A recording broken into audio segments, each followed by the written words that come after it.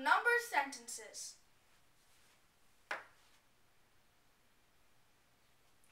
Let's say we have a problem to solve, like negative 1 third t is equal to 24. t is equal to what? Here, negative 1 third and t. Negative 1 third is the coefficient of t. The relation between negative 1 third and t is multiplication. So let's multiply negative one-third and t. Negative one-third times t, negative one-third times t is equal to negative t over 3. So, let's rewrite let's rewrite this as negative t over 3 is equal to 24. Negative t over 3 is equal to 24. Negative t over 3 is equal to 24. Now let's write 24 as a fraction, which is 24 over 1. Now, we need to get rid of 3. So how do we get rid of 3? Well, we cross multiply. That means we multiply 3 with 24 and t with 1. So, it becomes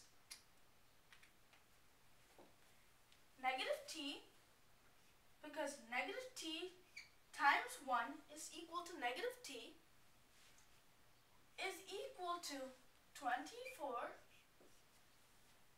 times 3 which is equal to 72. So let's rewrite this equation. Let's rewrite it as negative t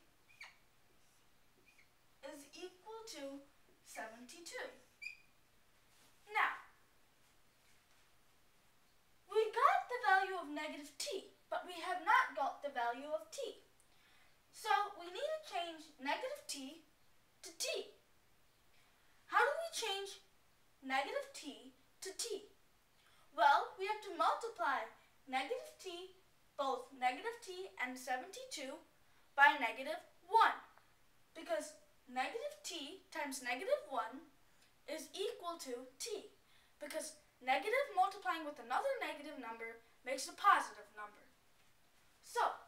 Negative t times negative 1 is equal to t, which is equal to 72 times negative 1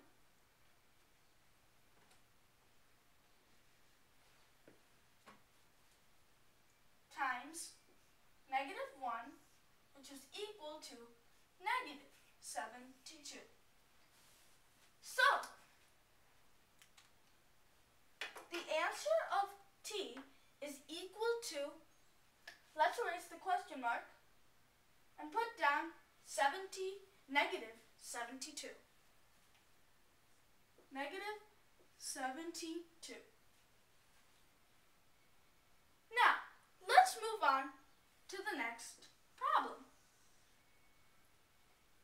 Let's say we have a problem like k over negative 4 is equal to negative 12. k is equal to what? Now, let's first rewrite this equation right here.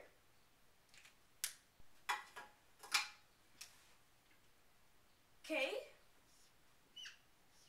over negative 4 is equal to negative 12.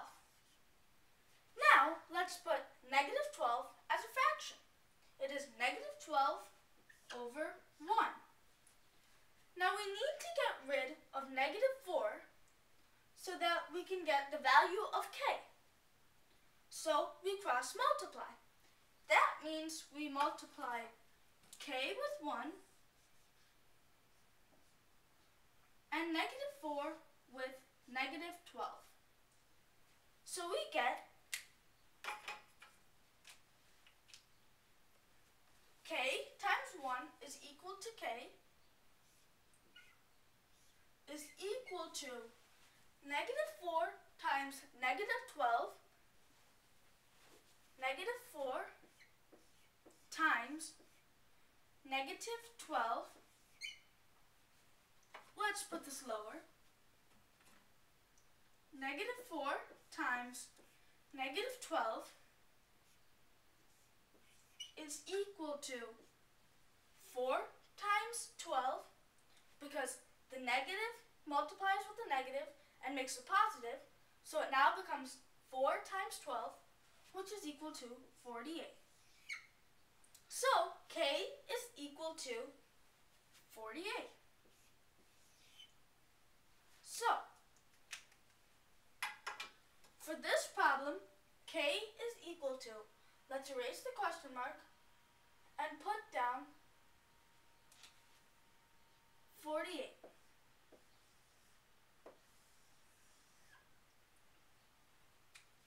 Today we learned about examples of number sentences. Thank you for watching this video.